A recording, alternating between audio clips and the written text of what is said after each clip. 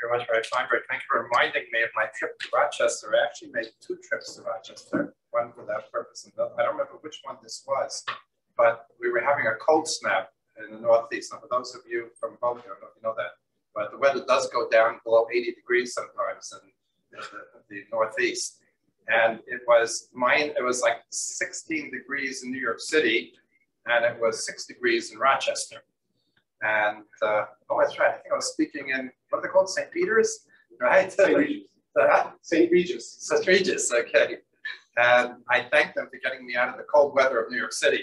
You know, but, but now I can really say. But uh, okay. Anyway, uh, first of all, let me start. Uh, now, the rabbi of my community where I grew up used to begin his sermon with, "Before I speak, I want to say something." So before I speak, I want to say something. First of all, on behalf of uh, OHEL, uh, David Mandel, our CEO, Jay Kesterman, Mel Zapter, our, our presidium, I want to extend the condolences to all of you for the, for the loss and the losses you've had actually uh, uh these past few weeks. And uh, as always, as the, as the Rav said, it will be Hashem who will give you nechama. I will give you knowledge, but nechama will come from Hashem. Um, there was one mistake Rabbi Feinberg made in the introduction. He said OHEL Children's Home and Family Services from New York. As of last Monday, we have an OHEL Children's Home and Family Services in South Florida. Um, we, we have, a, we're, we're doing, you know, again, we're not stepping on toes. We're not trying to take away from anything that's done. And I know what a rich community this is and how much is done, but we, we have a, we got a grant to go national. And we basically have two, a two-pronged uh, program bringing here. We're not bringing foster care, we're not bringing the housing and all the other things that it does, but we are bringing a trauma team that we're training, and we have uh, Ruff, who is one of your local uh, Boca people, who's going to be directing that part of the program, who's here, just to be aware of her. And then we're also doing something very exciting, um, and I'm just talking about it very briefly, and I'm going to get to our subject, which is we're doing uh, resilience. We're bringing resilience to schools. We're doing trauma sensitivity in schools there's a shift taking place in mental health now. Um, it used to be that the pattern was, let's say school, uh, teacher taught information and then identified those handful of students who had emotional problems and would send them to a school social worker, the school psychologist. The problems that are existing today, both in terms of trauma, anxiety, et cetera, are so huge. Um, so I mean, I, I saw my old friend Mordechai Palgon this Monday we opened up he doesn't know what to do with the amount of you know, issues that she has in the school. Um, so, so we're what it's what, and what we're doing is instead of this pattern of identifying the, the, the we're bringing psychology, bringing mental health services into the school. We're training teachers, we're deputizing teachers to recognize anxiety, trauma, depression, and to address it or to build up resilience, the little coping mechanisms. We had in New York, we have a MAP program in 10 schools, which has a middle, um, a middle school anxiety prevention program, where we've done just this and it's, it's thriving. And we're piloting this program here in South Florida, where we're going to bring mental health services into the school instead of taking out the student. And that will be directed by Mental Torah, who couldn't make it tonight because he had other obligations, but just want to make you aware of that. So we're here, and that's why I have to be here uh, for this new initiative. Um, I'm going to try to orient you. As I said, I, I can't give the Nechama. Only Hashem can give Nechama. But I'm going to try to orient you to grief. I'm going to try to familiarize you with what grief is, what works, how to help, and really with an eye towards helping the family and, and helping our children. I think it's very representative. I did not know Doni Lindenberg before I came down here. I, I mean, until I heard about I did not know. I've, in varying ways, been addressing the, what his death, and I know him. I know him, I know his family. I would recognize them, but they have become a family, and he has become a person that I'm increasingly getting to know. And I think that's very representative of what one aspect, one very important aspect of grief.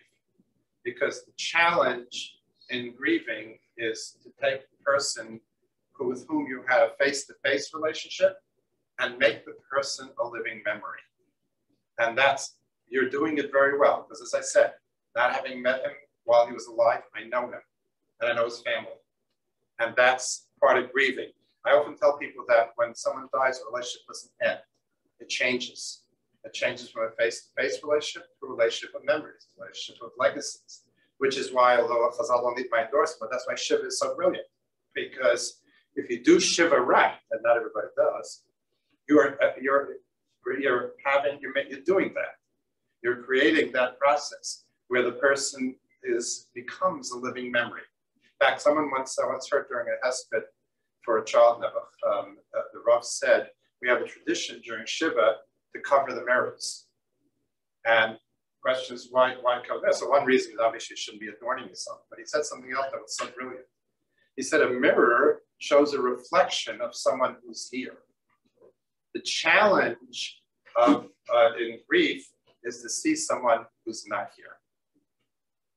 And that's what we do. And that's the transition that the family is going through now and that you are going through and helping helping them go through. And by the way, let me mention a few things about that, which is very important.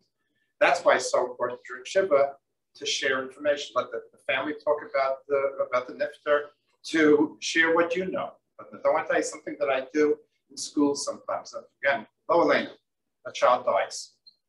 A, a, fourth grader dies. You know, I, this, I always say this, this is my standard lines. I always say this so I don't get invited to parties because people ask me what I do for a living and then the party's over. You know, it's like I have all these stories. But um, a fourth grader, let's say, dies, right? And I'm meeting with the kids and I'm talking to them and I'm telling them about Shiva. And I say something very important to them, and please, I don't, I have no propriety. Everything I say, do it, use it, please. But I say to them something very, I say, you know, the parents know what Moshe is like uh, at the Shabbos table. They know what Moshe is like on family vacations.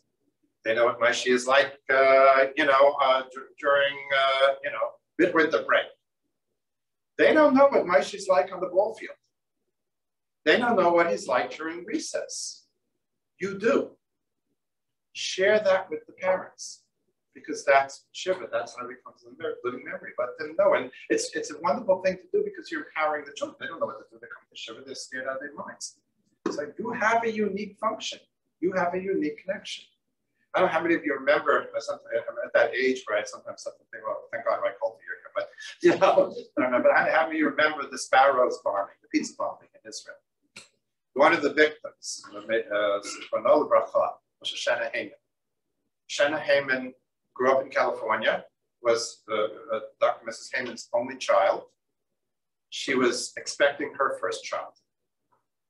Uh, the Heymans couldn't make it in time for the Levi in Eretz Israel because they were coming from, from LA. Um, but I was in touch with them. And on their way for their first visit to Israel, after Tira, they asked me, she was a teacher, a very beloved teacher in our neighborhood. Both my daughters had her as a teacher. They, they asked me if they could stop by my house and speak to my daughters because that part of her life, they were fairly disconnected. They wanted to know, they wanted connect, they wanted to relate to it. And my daughters agreed, and each one had her in seventh grade, one had her in fourth grade. And in fact, I remember my older daughter brought her Lamites Malachas book that she had done with her get, and gave it to them. But that's that's how you make someone a living memory. That's a very, and that doesn't, it's not just Shiva. It's so important to make sure for yourselves and for the family that Doni Lindenberg is not forgotten, that he's remembered. And it doesn't have to be anything profound. Um, I, I, one family I remember I, I worked with who lost a son, and they spent every Hanukkah with their friends, certain friends. And one Hanukkah that is about three years after their son died, and the woman's making latkes. And she just turned to him and said, I remember how much Josh loved my latkes. I was so touched. They remember Josh and they remember that he loved her latkes. That alone was a tremendous nechama. And that's what you can do for the Lindenbergs. That's what they're going to do for themselves. And by the way, I have one soapbox that I really, I just feel very strongly about it. So you'll excuse me if it's a little bit of a tangent. But when you go pay a Shiva visit, it's really not important to talk about how the person died. It's more important to talk about how the person lived. I don't get it. You know, the guy was 95. He spent 94 years and 50 weeks living, and two weeks dying. And all people want to talk about is how he died.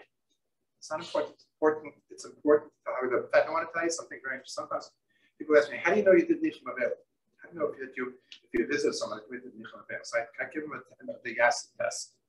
If when you leave the the base level, when you leave the house, if you know more about the person who died than when you came in, you didn't you didn't say a thing.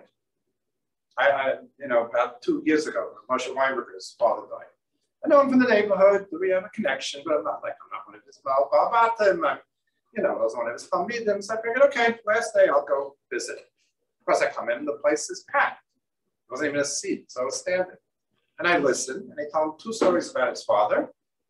I walked over, I said HaMakom, and I left. I didn't even know Now this, I know his father, not a whole lot. I know some. His father's remembered. His father's the living memory, and that's very important. And that can be part of how you can help the family. And not so much now. Now it's front and center on the mind. In fact, something I hear, and I just heard it today from someone, something I hear very often from people who are, just before I left even, um, a, a, woman called me whose, whose son unfortunately overdosed. And it's, she's entering the third year of bailship. This is the hardest year. Because at first everybody was talking about it, I was remembering it. Now everyone's going on with their lives. And nobody's thinking about it. He's front and center in my mind. I feel so alone. So right now, this loss, this void that you feel in the community is, is, is uh, very present, very powerful. So you're all talking about it. But two years, three years, five years, 10 years from now, remember him. And, and that is such a source of nechama and, and very important. Um, as I said, I got to know. I know Doni such an, uh, was such an active member. I know that he was Gabbai. I know the, the family, the doers, that they're that they're builders. Yes, I got. I, I have a sense. I have a, a, sense of who he is, and that's what you need to continue to do. And that's part of whether it's him or anybody else. That's part of the nechama process to make sure this person is not forgotten. That's very important, and this accounts for probably the most, the most common, well-meaning, but if you will, hurtful remarks people make.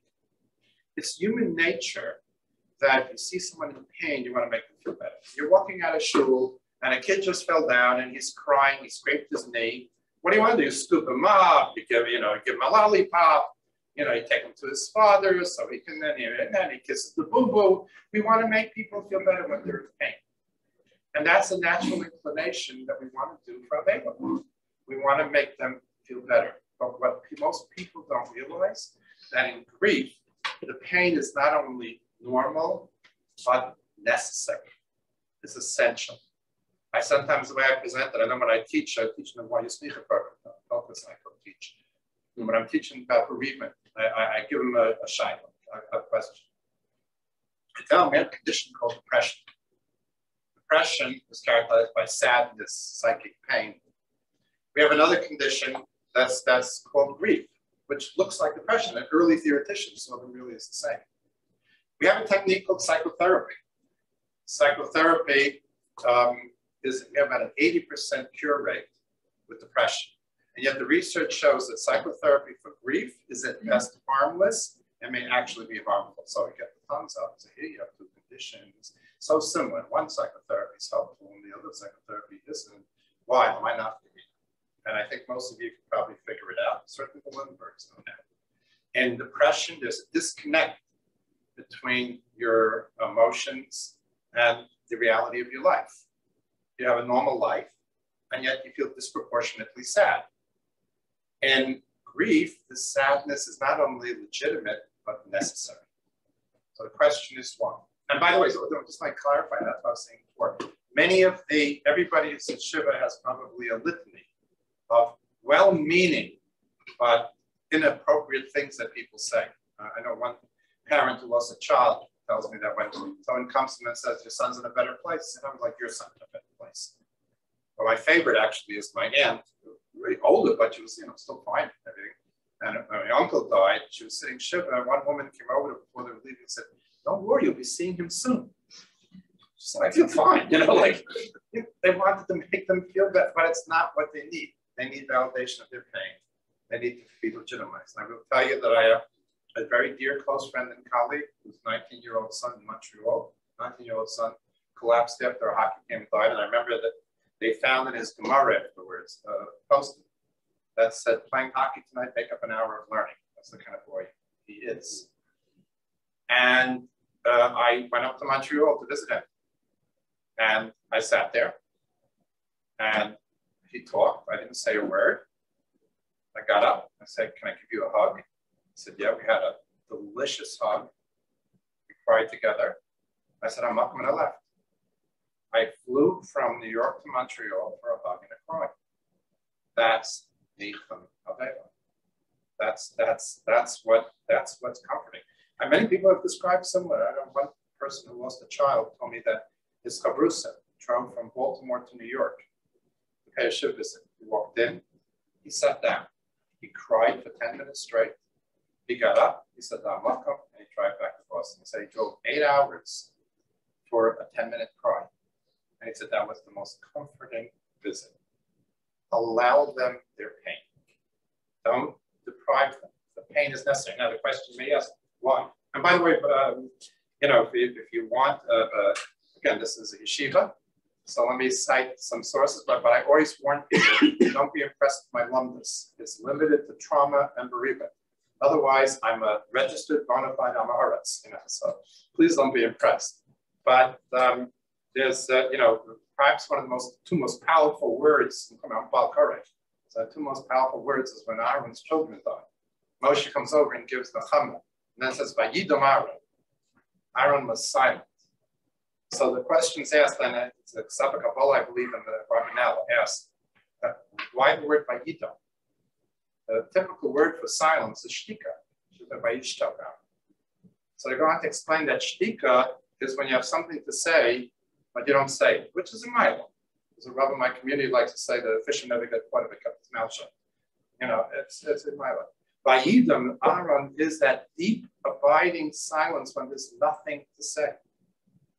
And if you come and pay a shiur visit, especially in situations like this, and you silently sit with the person, that's avelim. You're validating their pain.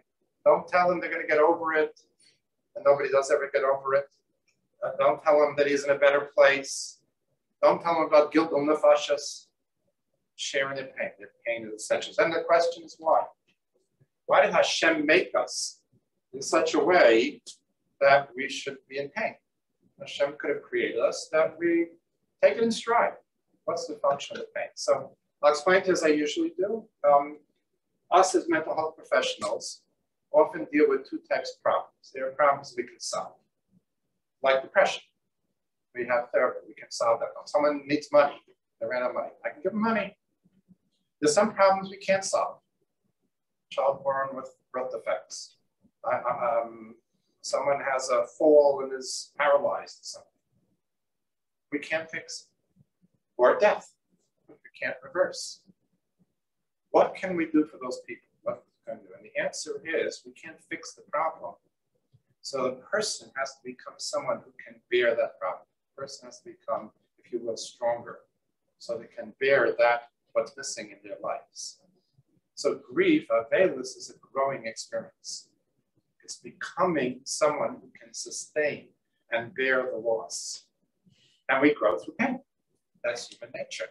Haraya, the one day in our calendar, most associated with change and growth, Yom Kippur, is Inui Nefesh. We, we put ourselves through pain. And that's that's that's the function of pain. That's why Shem made us that we suffer we pain during, during grief. But the worst thing to do is try to help them get rid of their pain. And by the way, one more thing. Never ever, this goes for people who are mourning, people who are sick, or whatever they're dealing with. Never pity. Never, no puppy of abuse. Because pity means, oh, I'm up here, you're down there, poor thing. You give over the chama with dignity. I have a, a very close friend and colleague. Nebuch, his wife was was was uh, I should this going to be my friend. You know? okay, um, you know, his wife was killed in a pedestrian accident uh, Friday coming home buying flowers for the family. And he said during the shiva, several people came to him and said, Hashem should give you strength. He didn't like that. He said one person came over to him and said, Hashem will give you strength. That he liked. What's the difference? A subtle difference. But the subtle, sometimes subtleties are really are huge. One is you poor thing. what is, you're going to be all right. You're going to be okay. Hashem will take care of you. Um, and that's the world of difference. So when we, you know, when you're helping, when you're extending your feeling condolences, when you're talking to the family, talking to the children, do so with stolz, do so like with confidence. They're going to be, and everything I hear about both uh, the, you know, the Mrs. Lindenberg and the children, I feel very confident that they're going to be okay. There's a, a line I use, and again, I, I, it's not mine. I'm giving it over. I sometimes tell people there's a difference between being affected and damaged. There's no question children are permanently affected by the loss of their father at a young age. That doesn't mean they're going to be damaged. One year was very interesting that happened to me about a year ago. I'm active in an organization, and I'm a sort of a psychologist in the organization. And we have a lay board of wealthy people who raise the money and make sure the finances are okay. And we are going to hire someone for this for the for the organization. So me and a, a friend of mine who's a very wealthy man, has a very successful life, wealthy family, making good shidduch from everything, you know, everything. And um, he was interviewing with me. So he was representing the lay board. I, I was uh, the professional. In the middle of the interview, turns to the guy and he said, You was a parent at a young age. He says, Yeah, my father died when I was 11. And the says, Yeah, well, my father died when I was 9. I'm a psychologist, I'm the bereavement specialist. I had no idea. And afterwards, I said to Moshe, I said, Moshe, how did you know? I want to know. Because I can't tell you. I just feel it. I can sense it. I just knew yeah, That's effective, not damage. Very successful man. Very not, not compromised. That's the same thing. Yeah. And, that's, and that's the message also you have to give to the family. They're gonna, it's it's terribly painful. It'll always be there. Every chasna, every grandchild that's born, that he's going to, in fact, there's a line I hear sometimes. People I work with, so I can feel their absences everywhere. We meet their absences. So we meet their absences everywhere. They're going to feel his absence. They're going to feel that void. But they're going to function. They're going to be successful. And they're going to go on with life. And you, we give that over in that fashion. And let me just conclude by explaining so then what is the hum? This is if, if pain is essential, what, what is the hum? Just very quickly, I'll share with you what I had a personal insight. When I was starting to do this work, and I was getting a hang of it, it's been five, 10 years to get. I'm now doing it for about 98 years. But um, I was doing it for about five, 10 years. And there was a, uh, unfortunately, was a tragedy in Philadelphia A young man was leaving shul sukkahs, hit by a car, and full view of his family and kids who had was a camp counselor. And, uh, and so there was trauma and bereavement, was everything that was down there in Philadelphia. And uh, I was interviewed by some radio personality. He's asking about the trauma the kids. Then at one point he says to me, what about the parents of this young man? Will they ever get over it? And a word, he sentence came out of my mouth was Mitzvah I said, I said, the grief will be forever, but the pain is. Understand the chumrah. The chumrah is not that you stop grieving. That the Danny will be grieved by all of you, by his wife, by his children, until Mashiach comes, until they reunite. But, but what happens is because you go through that transformation, because you go through that growth, through the pain, it doesn't hurt as much. So that's just explained this but the main message to you is please don't try to talk about it. Don't try to, but on the other hand, don't drown that also with pity. Sometimes what I hear from people is, you know, the first months, everybody's coming over, everybody's hugging, and kissing them, sending them food and all that. And after everybody forgets. Do less, do it regularly. And mostly give over the nechama with confidence and according to them. The way and manner, how you look at them, how you say the tone of your voice. It's a very interesting thing. I've learned this over the years. I've learned it the hard way. That when someone's in pain, when someone has suffered a loss, whatever the pain, especially with children, by the way, your body language and your voice tone is sometimes more important than what you say. When I have to go into a school and there's been a terrible tragedy, a scary event that occurred, I act very confident. When I get out and I get back in the car, I fall apart. But I talk, my, my posture, my voice tone, I act more sure of myself than I really am. Yeah, yogurt is good. Kids are scared out of their mind. And I, and, we bring in this outside expert, there's a quiver in his voice. But if he's not sure of himself, they're going to be more scared. So it's, but it's so your voice tone is very, very important. let me talk a little bit about, uh, we have some groups so we can have some, some give and take, some questions as well, as I mentioned, maybe even through Zoom, it's possible. Uh, I don't know sort of loud. Okay, but um, let me let me talk a little bit about children because the children the children in the family, the children who've been exposed as classmates. That under, the child's understanding and processing of death depends on their age. Children's brains are developing. And like with everything else, their capacity to attend or the manner or fashion in which they will process tragedy will depend very much on their age. I, I don't have time to go through every single detail developmentally. It's it's a you know three hour lecture, but I'm going to highlight some of the key points.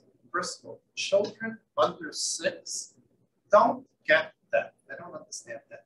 They know it exists, but they, they don't understand the permanence. They don't understand the deterioration of the body. For them, know, adults do disappearing accident. You know, mom and dad go on vacation, leave them with grandma and grandpa.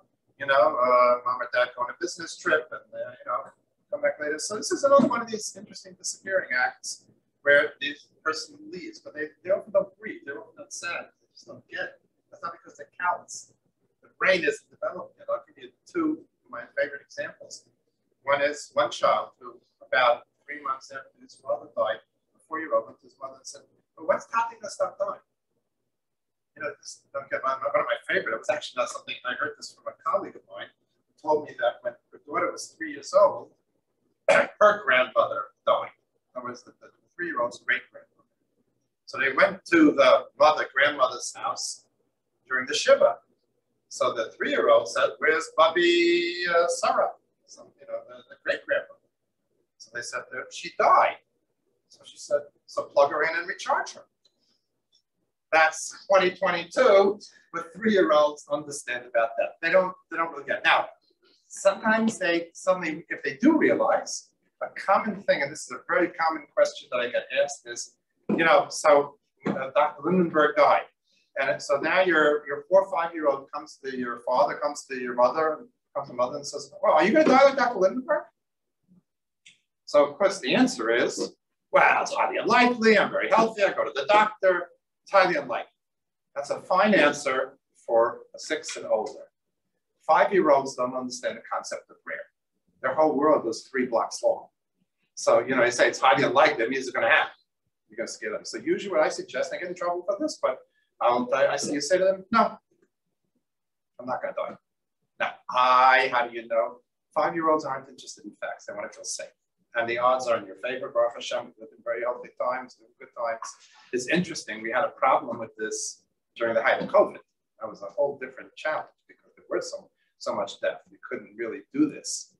Couldn't even say it was rare. So we had to alter. If you're interested, I'll explain what we did. But but on six and older, you can talk about it being rare. Uh, five under five, you can't. And if again, if you're concerned, if your child is scared, by the way, sometimes I get a call from a parent doesn't this happen? I, I don't know how my four-year-old, five-year-old is handling it. You know what I tell them sometimes? Does, does he or she engage in imaginary play? Most of that age do. Listen to the play. Because if they're struggling with it, it will be in their play. Um, and uh, you know, usually when they're playing, we're happy to get rid of it. But if you're not ever concerned about a child that age, listen to their play. Very quickly, uh, elementary school age children understand death. They understand rare one hallmark of the elementary school child, and I know there's a fifth grader here, is they don't want to be different. They don't want to stick out. The classic elementary school age child wants to be more than everybody else. He wants to be part of the whole group. So, you know, so they're not going to, and, and they don't want a lot of fanfare. So they, in fact, when they, when, when, you know, when we come back to school, one of the things I strongly suggest, I'm here when I come back to school because it's vacation, but if it, I hope not, if it ever happens uh, any other time, is one person and only one person greets him. It could be a Manahel, it could be the psychologist, it could be, you know, the guidance counselor. Tells them, you know, we're aware that something very big happened. If you ever need to talk, you know, come see me. I'll be happy to, but otherwise treat them normally. They want to be, in fact, when I visit, I pay a ship visit to a child, and I tell the child, you know, I'm going to your school tomorrow. Is anything you want to tell your classmates? I can almost predict, yeah, treat me normally. And I tell the kids that. If he's your friend, continue to be your friend. And by the way, very important, this goes for adults as well as children, because you feel bad for them, don't feign more friendship than you have. People who are suffering, it's very interesting. We think people who are suffering become dumb. It's just the opposite. They have, a, it's, they, they may be oblivious to things, but regarding their pain, they're brilliant. They're very astute. And they know what's real and what's fake. And if you're going to feign more friendship because you feel bad for them, that's pity. They're going to hate. In fact, one of my classic stories was I, I went down to Mexico City after um, Saba was killed in a helicopter crash. I'll tell you one aside, just uh, it's one of my favorite stories. But um, you know, if you think Israelis drive crazy, have any of you been to Mexico? You ain't seen nothing yet. Mexicans drive, and I'm guys driving me around. He's weaving in and out of traffic, ignoring all traffic signals, and you know, and talking with both hands while he's driving. You know, and I'm thinking, Jim, you know, my, my family's going to need the services of my department, so this is. And he saw I was nervous, so he very delicately said to me, you know, here in Mexico, we consider a red light a suggestion. So not where I come from, you know. but anyway, but um, they had this, the, the Sabas had uh, Ben they had a young child, like a fourth grader, I think. And I met with the teachers of the school. And actually, I was surprised because they were Spanish speaking that they knew this word. But one of the teachers told me, you know, he has a nemesis. He has an enemy, a kid who always fights with him. So we're going to tell him to be nice to him. I said, don't you dare. He's going to come to school, and this kid's always starting with this, I'm going to be nice, and he's going to know that's only pity. You tell the kid as soon as he comes in, punch him in the nose and start the fight all over again. That's what they want. They want to be treated. No, they don't want that disproportionate focus. So the same thing's true for the rest. No, puppy, I know you poor thing. Or, you know, treat it normally. Treat it. Now, one of the things that comes up, and we spoke about this when, uh, when I spoke to some of the friends, um, the concept of surrogacy. I've had, I told the story when I met with the friends last night. Um, it's a great uh, story. You know, when I, was involved with a woman who had a very terrible marriage, abusive and everything. We finally got the guy out of the house and she had two sons. I think they were like 11 and 13 or something like that. She went up the first Shabbos morning. She lived, lived in Far Rockaway. They got a up Shabbos morning. She's, who's going to take her to shul? And she's standing with him, and suddenly there's a knock on the door and there's Rabbi Bender. Come boys, let's go. Let's go to shul. And so she ultimately married. He took her to shul every Shabbos. There, there, when there's an absence of a father, there's a need to fill the void. Somebody's got to throw, you know, play ball with him. Somebody, I remember I mentioned the other night, one woman who, who got divorced and she, you know, had a son like fifth grade, sixth grade, whatever, and, you know, needed help with his Gemara homework. So she bought an ArtScroll. Figured going to be so difficult, right? Try to make sense out of an ArtScroll when you've never learned Gemara. You know, just staring at it, you know, like doesn't know what to do. So maybe somebody has to help him chazer Gemara for a test. Maybe somebody has to dance with him on their shoulders on, on some Torah. So there's some room for special friends to fill that void, and the research shows that when there is an absent parent, for whatever reason the parent is absent, whether it's death, divorce, mental illness, whatever it might be, when other people fill the void, the child does better. But it should be, there's two caveats. First of all, only with Mrs. Lindenberg's consent. Do not take away from her her parental role. She's the parent. She's going to rise to the occasion. Um, and, and uh, you know, again, it's this, the dignity, the self-respect. So you ask her first before you do anything. Second of all, it shouldn't be just one person. It should be a, a team. Because if it's one person, and let's say that person now gets this great job in Los Angeles and leaves, that's another loss. It should be a cluster, a collection of people that sort of fill that void. One more thing that's important that kind of segues very neatly to adolescence, and that's again, I, am giving you really the Reader's Digest version. Um, elementary school age children are not trying to figure out Hashem. They're not struggling with Tzaddik Rabba Rosh are. I remember once, uh, again, there was a, a, sudden death of a kid on a Shabbos, and then we had a blizzard on Sunday. Again, we me explain to you. Blizzard is when there's like this ton of snow. um, you have them down here? Okay. You're all from there anyway, right? You, know, you come to Rochester, you don't have blizzards. I don't, I don't even know what sunshine is. But, um, and so, so, so there was no school on Sunday. I didn't get there till Monday. I walk into this like fourth grade class in the yeshiva, and the boys are raising My father told me that he was a gilgul from a previous neshama. Uh, my father told me that he was only meant to live that long, and that was, uh, they had no idea what they were talking about. The parents were struggling with this. Um, uh, kids that age, you know, they know God is powerful. They know God to do what He says, and that's that's about trying to figure Hashem out. They they take very kindly the concepts of uh, the neshama, a mason and and olam haba. It's good to talk to them about that. Not too much, but it is helpful.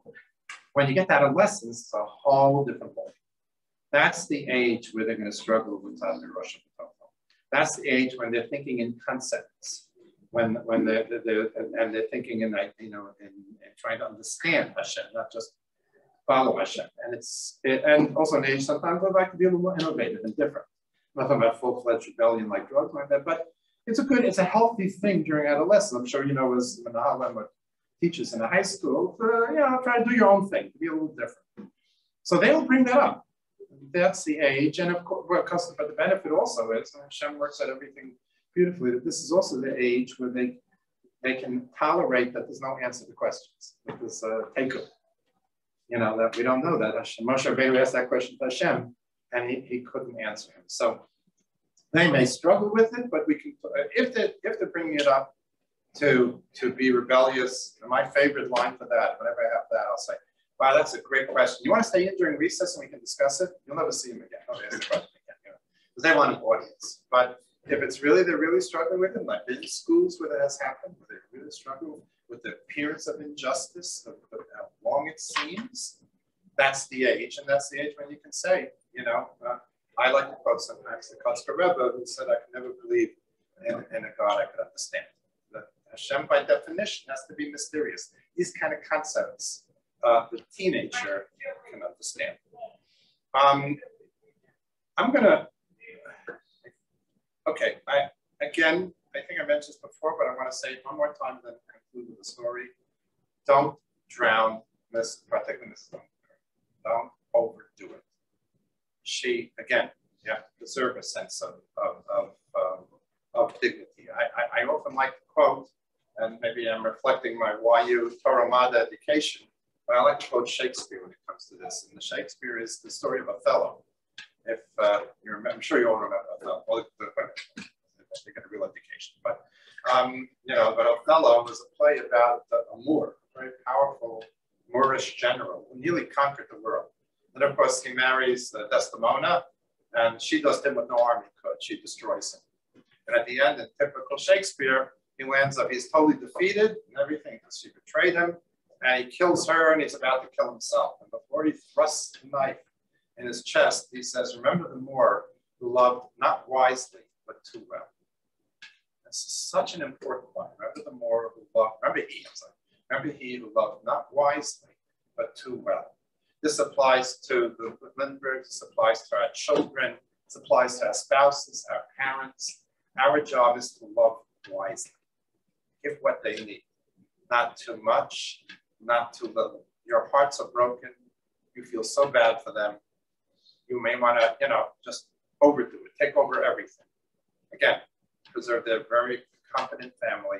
Show your concern, show your love, share it with them, and and you know it'll work. I'll conclude with one of my favorite studies, and I think it's important and speaks to why we're here tonight. I have to tell you that during COVID, I think I quoted that study every day. And the study was the Steep Hill study. I don't know how many of you know that study, but what they did was they took college freshmen. I always say we love studying college freshmen for 10 bucks, they'll do anything. And took them to a very steep hill. And they gave them a very heavy backpack. And they said, we want you to climb this hill. But before you climb the hill, estimate, give me a sense of how hard you think it is. The only difference was one group climbed the hill alone, and the other one climbed the hill with a friend. And pretty much say that the ones who climbed the hill with a friend estimated the hill as less difficult than climbing it alone. What you're going to do as a community And what you're going to do for the Lindenbergs is you're going to let them, you're not going to let them climb the hill alone.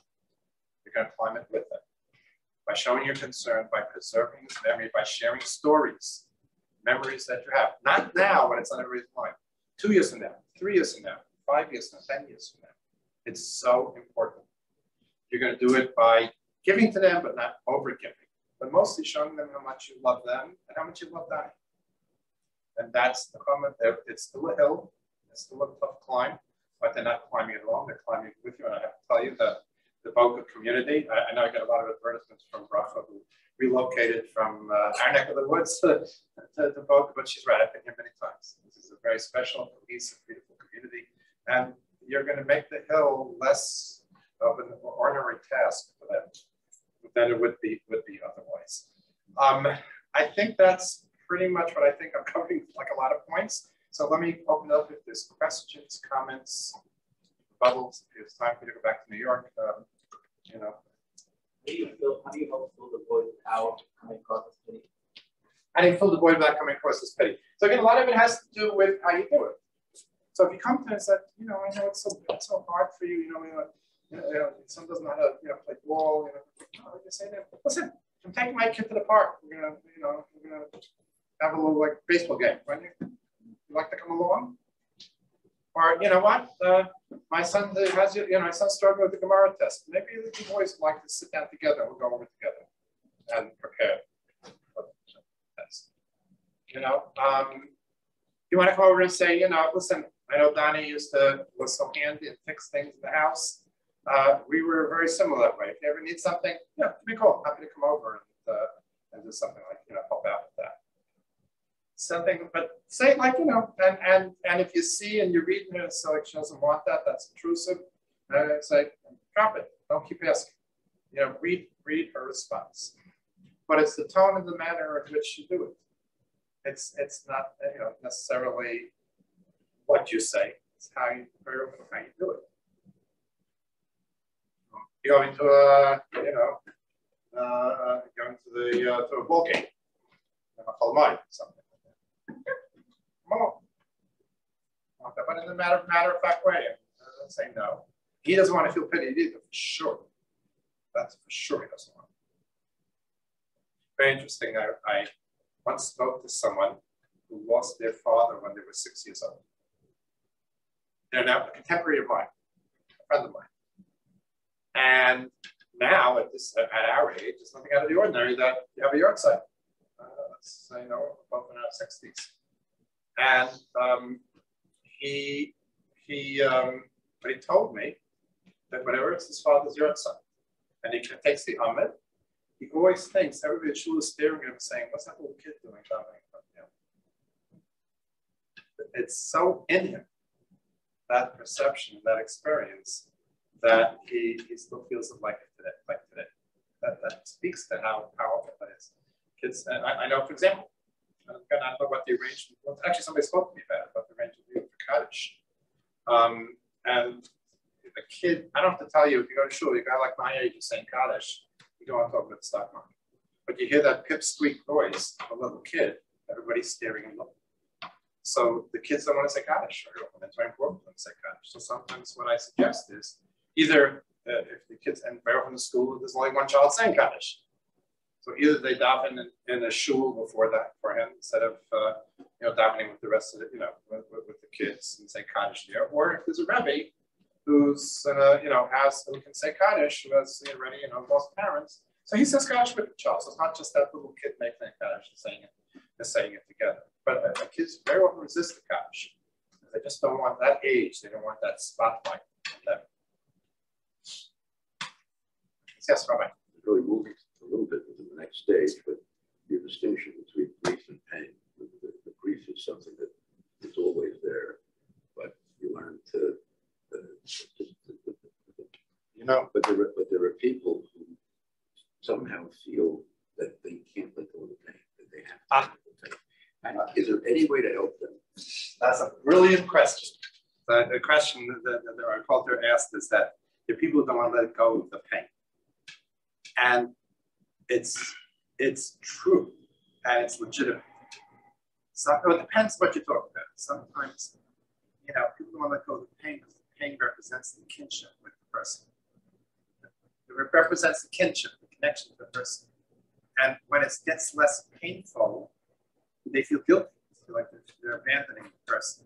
Sometimes, um, some, you know, there are four instances where therapy is effective. Um, and one of them is if the person has a pre-existing mental illness. So sometimes what happens has a pre-existing mental illness. So if somebody had either depression or, or a, a predisposition to depression, and then suffers a loss, then that can bring out a depression. And then therapy helps you treat the depression. Sometimes the people who cling to pain afterwards are, are doing so because it, it, it kicked off a depression. Sometimes they just want to, but usually the people who want to let who feel guilty about the pain going away, you know, come to terms with it. Realize that that's that's the way life works. You know, that's what Hashem made us, and they, they accept it. Um, but if somebody's really clinging to the pain, I would suspect a pre-existing condition. Sometimes, and I, you know, uh, that probably depends on how the development took place. Sometimes the trauma, but it's a highly traumatic death. A violent death or something like that. Sometimes the trauma makes it very hard to. That's right. So there are situations where that's a need. Many, most do go through the grieving process. And, uh, you know, uh, eventually, as I said, grieve forever, but it just doesn't hurt as much. And, and that's the norm. And you should know it. I think it's important to know. Resilience and health is the norm. Without grieving specialists, Hashem put Lacham in the world. There's, there's going to be a problem. Right, whatever classic scene I have very often. A young parent dies. The mother calls me, she wants to make an appointment for the 13 year old son. She comes, you can tell she hasn't slept in weeks. She looks miserable. The kid is standing as far as away as he can in my waiting room with his hands crossed and his body language basically saying, I'd rather have a, a root canal with anesthesia than talk to you. The kid doesn't want to be, you know, you're telling now, first he had now you're telling him he's crazy. So, you know, so don't push therapy. Offer it to them. Um, you can always give it, by the way, by way, if Weinberg has my number, or Raymond, certainly we could become friends, unfortunately, the last few weeks. Um, if he has my number, anybody who has any issue or any concern, can call me any time of the day, any time of the night. That's the nature of my work. So please, you know, it's not, you don't have to ask me first if you feel this legitimate concern. You can just give the people my number and, and call me. Um, or, or call Rafa, local assistance. Um, but uh, don't push therapy if they don't want to push it. Push it on the school Yes, go ahead. So, there's one thing uh, you mentioned about uh, the young children. They're not asking about the or uh, questions. I you mentioned in the past, it seems from experience that the case, you're, you're the youngest child is fifth grade age. Fifth graders, talking about girls and boys, they are asking. I realize, okay. You know, it's interesting you say, so, so I very much kids are asking that question. So, you know, there's a, I like to quote the, the great New York philosopher and theologian Yogi Berra, who, would say, you know, the old Yankee Stadium, um, that around three o'clock afternoon would be a shadow that would descend upon the stadium. And he used to say it's getting late very early um, children are growing up quicker. Ken Zine, fifth graders, are already starting to have an adolescent brain. So, you know, so it's so kids are changing, and so maybe already at that point, by fifth grade, I'd be very surprised if a third grader was next to but I know, you know, who knows? They're, they're, they're growing up. I have to constantly sort of update my developmental piece because kids, not only because of the, their rapid development, but because of what the internet is doing for kids nowadays. They're becoming so savvy that, um, you know, I have the, example. Um, for many, many years, I, if the child lost a parent, I would, you know, I thought very important that the child go to the funeral and even go to the burial but I also say, you know, that he doesn't have to see the internal. It's so scary. So I'll stand in the back a little bit. I'll have a memory that he was there. He's a little kid. They're big people. He won't see it. So, you know, he doesn't have to. I'm now, in recent years, a parent of, of eight-year-olds and nine-year-olds who are going right there, picking up a shovel and digging. Kids, they're, they're growing up very fast. They're exposed to everything. and they're not used, and they want to be part of everything. They feel they're entitled to be a part of everything. So that's now a whole new, whole new ballgame. So kids are changing. You? So that I would be my guess that maybe maybe I have to like let it get late very early and move it move it up a bit. Uh, my my cutoff age. Yeah. Anything else? Uh, yeah, please. Um, I'm looking only because I don't hear some other stuff. okay, I'll talk about it. We're saying that we should treat them normal, treat the family normally and not add more pity than Right. um, it would usually. But like, let's say they're they're not feeling normal. Let's say an Erev Shabbos, should we send an extra text, an extra text or extra Sure. call before a hard day? I don't want them to come across as pity. Sure, I didn't say to ignore them. So let's let's let's try, try two different texts. One text is I hope Shabbos is restful and replenishing, and stop by if you'd like to. I'd love to see you, or maybe I'll stop by in the afternoon if that's okay. Or I can just imagine how this hard this Shabbos must be for you, and and who's going to say Kada? Who's going to say Kiddush? You know, it must be hard. You know. Yeah, but no, please, you know, Even if that's not something you would usually do. Yeah, right. No, I'm not saying they do need special administration. No, I'm sorry. I'm, I'm, I don't mean just like make believe nothing happened. But do it, like I said, do it with dignity. Now, again, it also depends how you, what the nature of your friendship is. You know, if if you never visited them, they never invited you, now you start showing up every every week, they're going to resent it. That's like, well, what are you doing? That's that's pity. If you really are a good friend, then it'd be very natural for you to get together. So you'll come every shot, and and and uh, people welcome that. And people feel very and and, and again I, I know here in this community we've spoken to people who have had losses and they feel very cared for and loved and attended. To and that's that's you know it's yeah I remember that that same aunt uncle that uncle died. Um, I was waiting for my aunt outside after the, the funeral. And she came out it was raining she had an umbrella and she was surrounded by 10 15 grandchildren which was pretty incredible she only has eight grandchildren but no now she was surrounded by her kids and her grandchildren. And she saw me and she knows I do this work. And, and she said, You see, Norman, I'm cocooned. That's what we do. We cocoon them. We make them feel loved, make them cared for. But I'm just saying, but not the pit. You know, and uh, and don't connote that she won't be able to. Uh, you know, my my my my cousin Shimmy Biegeleisen, Shimi Kondama, was one of the victims in 9 11 and his almana told me, you know, he, he paid the bills. That was his job in the house. So uh, almana told me that uh, whenever she got a bill after, you know, she would take it, she had a shopping bag, she'd throw the shopping bag, she didn't pay the bill in her life. So, no, already a few weeks and she's getting, a few months, she's getting these threatening letters, you know. So she figured she got to do something about it. And she had a whole shopping bag full of bills. So she took a huge picture of Shimmy, she put it on the dining room table. She took the shopping bag, she emptied it, and she looked at the picture and said, Shimmy, you got me in this mess and now you're getting me out. And she figured out how to pay bills. You know, uh, people rise to the occasion. Strength and resilience is not. But please don't ignore, no, I don't mean to say that. Just do it with dignity and with care and with love. You know, with, with, with genuine, especially if you're the close friends. Just develop her. Or the kids, well, the kids don't want to be enveloped. No, no, no, they don't want to be enveloped. Although the, you know, the, the, the high school boys, may very much gravitate towards rebellion and may feel openly open. But the Rebbe, it's, it's a beautiful aspect of our world that we have that special Rebbe talmid relationship. And that can be very therapeutic for them. Um, and it's something that, again, if they're receptive to it, should be nurtured. Yeah. I think the comment that you've made about normal was really more for school age children. Yes. Yes, so they want to be normal. be Want to something totally normal. fascinating? But the, the, the other, the other age, they Oh, yeah. want to be pitied, but they want the love. Yeah, when you're a teenager, it's okay to be different. You know, you can have green hair. You know, it's it's you know you, it's it's tolerated. Um, with at, at elementary school age, they want to be all together. They want to be the same. They want to root for the same ball team. They want to you know, they, they want everything more together. Fascinating. Just to give an example. One of the things that we've seen sometimes is what I call the eruption.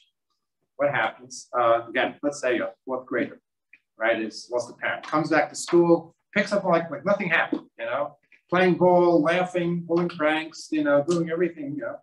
And one day there's a, a relatively boring class. You don't have that down here in Brooklyn. You're have occasionally some boring classes, you know. remember class when, you know, the kids are daydreaming or something like current events, you know, or something like that. And suddenly bursts into tears. Why does it happen? Because he's been suppressing the grief. Be normal. And then he starts thinking about his father and he sort of loses sight that he's class and he starts crying. That, that's, uh, we have a way of handling that. I'm not going to go into you know, I, I, I warn teachers about, about that, but um, that's because again, because they're suppressing the grief at that age because they want to appear normal. So uh, just if you have children that are friends with the fifth graders, what sure. should you, what should you Okay, if they're very good friends, um, they can say something, how you doing, I feel bad, or they can share memories of the father, fun memories. He was so funny. I remember how he dressed up in Purim. You know, it can be just something like that. You can do that. They're not such close friends, they just interacting as they had before. Um, that also you have to tell your kids because kids don't know what they say. They're going to be fine. They're not going to fall apart. They're affected, not damaged. But don't think, don't be scared. Don't treat them like porcelain. You know, they'll, they'll be okay. You know, it's very sad and they'll be sad and they're going to miss their father, but they're not going to, you know, transform into some weirdo. And that's important to tell them also. And, and by the way, another thing sometimes you hear from the kids, so can I talk about my father? Now, you know, I don't know if I would, you know, give a two-hour speech about how wonderful my father is. But uh, they know they don't have a father now. You know, and then I mean, he's not here. They have a father. But he's not here, and you're not going to. You might, you know, you don't have to. I sometimes tell the kids they like it, they laugh, and you don't to hide. You know, lock your father in a closet when he comes over. You know, uh, that's that's the world. You know, they're they're they're in that world. You know, the issues that come up with like Father's Day or uh, you know, father-son learning programs. So many schools now, not only just because of death, but because of divorce, or some fathers are just not oh, going. So they're shifting to, you know, saying we door the door or something. You know, by the way, this is a lot of what we're doing when we talk about, I'm shifting back to our OMA mission, the trauma sensitive schools. Is we're, we're, we're working more and more to sensitize, help sensitize teachers, even secretaries, security guards, to the vulnerabilities of children so they can be appropriately responsive to it, to it, to those vulnerabilities. So that's these are issues that come up. So I, you don't exaggerate, but you know, it's it's the reality. What do you mean by they have a father but he's not here? I, I can hear him. What do you mean by they have a father but he's not here? Well, have one father? He's, he's in Shamayim. That's something that they should. Yeah, you know, father. In fact, if if at some point Mrs. Lindenberg decides to get remarried, Nobody's replacing him. You know, I mean, it's not a topic now, but when those things happen, very important that they know, the children know that this is a stepfather, not your father. You have one father. He's always going to be your father. That's that's very important. And he's watching you from Shamayim and he's proud of you. You know, always important, right? Right, right, Walter? Right? Boys have one father. They have a wonderful stepfather, but they have one father. You know, um, it's and, and, and that's very important. Anything, anything else? Okay. Um, hope this was helpful. Um, and as I said, uh, I'm going to say we are available. We could have a bracha and the team that we're developing here, but uh, also myself. You know, anytime you need to speak, something comes up, or whatever, any concerns you have either about the Lindenberg butts in your own family something like that, related to trauma and, and all that, because uh, the only thing I know. Um, then, you know, please feel free to get in touch. You don't have to, you have to ask me first, just, you know, I came in or I know. I remember, share one thing, I was once presenting, we, we do this training in Thomasora, and once there's some woman on the Zoom screen, and after I presented, she says to me, Dr. Blumenthal, I have about 100 questions for you. Can I have your email address? And I said, sure. dpelkovitz at gmail.com. okay, you want to reach me, it's dpelkovitz at gmail.com. Okay, thank you. This is my host.